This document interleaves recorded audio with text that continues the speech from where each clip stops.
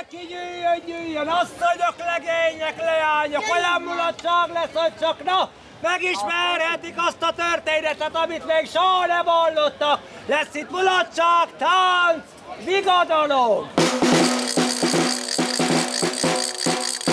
Ahogyan kidobolták, úgy is történt. Vigadalomból és különféle gulyásból nem volt hiány. A fesztivál számos érdekességet hozott a gasztronómia terén is. Több mint száz csapat nevezett, a legtöbben a hagyományos ízekkel próbálkoztak, néhányan azonban mertek különlegeset a bográcsba álmodni. Itt például lengyel fűszerekkel hagyományos lengyel zöldséges leves készül marhából. Ilyen zöldséges, de van benne hús is. Van benne hús is, rengeteg gomba, zöldség, sárgarépa, ami, ami kell tulajdonképpen hasonló a gulyáshoz, de mégsem az. A fehérvári hagyományőrzők bivajgulyása önmagában is érdekességnek számított. Az üst, amiben készült, azonban minden képzeletet felülmúlt.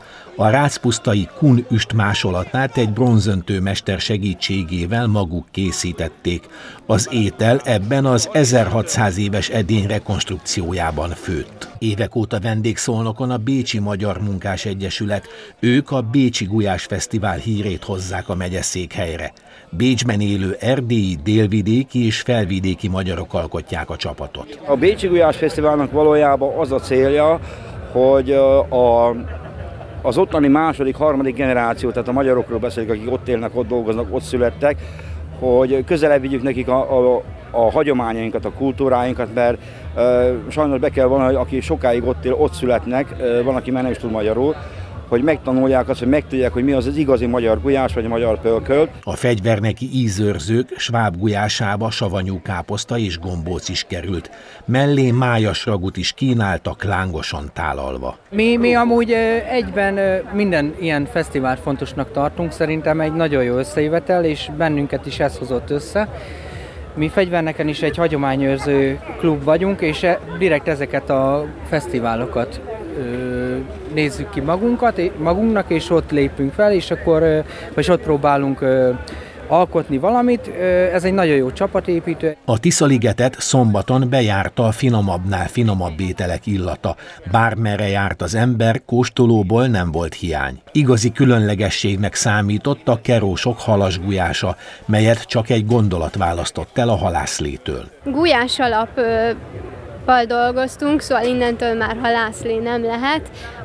Hal alaplével húztuk fel, és filéként van benne ugye a harcsa is, meg a ponty is. A nyárligeti ivásznik csapatai krumpligulyást készítettek vízibivajból és babgulyást vaddisznóból.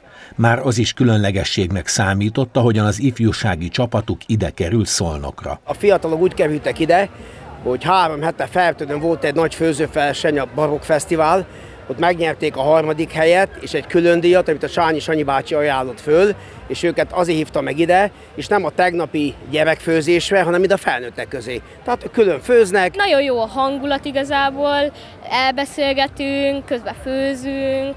Az egy kicsit elismerés is, hogy fiatalon itt főzhetek egy ilyen nagy eseményen, ilyen nagy csapatba úgymond. A fiatalok vízibivaj gulyása a rácpusztai üstben készült különlegesség, és több más gulyás variáció is elnyerte a zsűri tetszését, és vihette haza az aranyérmes elismerést.